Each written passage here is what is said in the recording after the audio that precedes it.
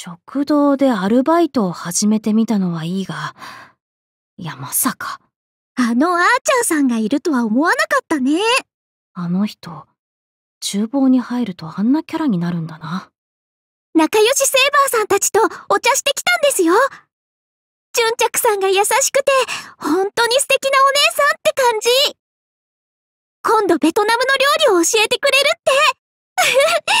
楽しみ妹の方は、すっごい目つきで睨んできてたけどな。なんなんだよあいつ。怖えよ。